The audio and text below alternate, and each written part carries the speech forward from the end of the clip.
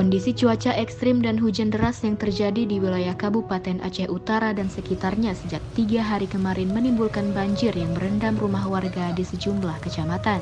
Komandan Korem 011 Lilawangsa Kolonel Infantri Bayu Permana meninjau lokasi banjir di wilayah Kabupaten Aceh Utara pada Jumat 7 Oktober 2022 dan rem turut didampingi Dandim 0103 Aceh Utara beserta rombongan meninjau ke lokasi banjir sekaligus menemui warga pengungsian yang terdampak banjir. Dan rem prihatin melihat kondisi ribuan rumah dan kantor Koramil yang terendam banjir. Dengan mengenakan seragam kebanggaannya, pimpinan TNI di Korem itu tak ragu berjibaku berjalan di genangan air bercampur dengan lumpur demi menemui pengungsi masyarakat dan keluarga prajuritnya.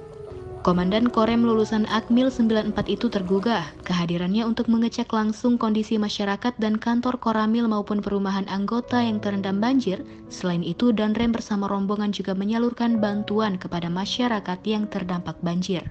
Danrem juga mengatakan sejak banjir melanda, hampir seluruh satuan yang ada di jajaran Korem 011 termasuk satuan kavaleri dan brigade di sekitar turut membantu masyarakat yang terdampak banjir di wilayah Kabupaten Aceh Utara termasuk mendorong pemerintah daerah agar segera bisa mempercepat pembangunan Waduk Kereto yang merupakan solusi dari pencegahan banjir yang terjadi.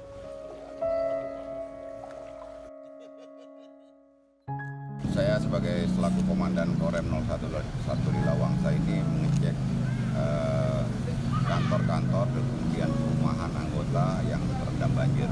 Selain itu kita juga membantu masyarakat yang ada di wilayah yang terdampak banjir.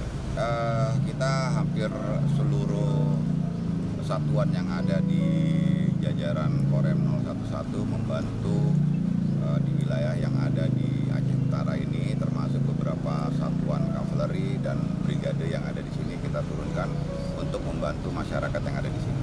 Uh, ini kita sudah mendorong untuk pemerintah daerah agar segera bisa mempercepat uh, pembangunan Waduk Sungkerto yang merupakan solusi dari uh, pencegahan banjir yang ada di wilayah Rosopon yang tahun ini sudah hampir empat kali uh,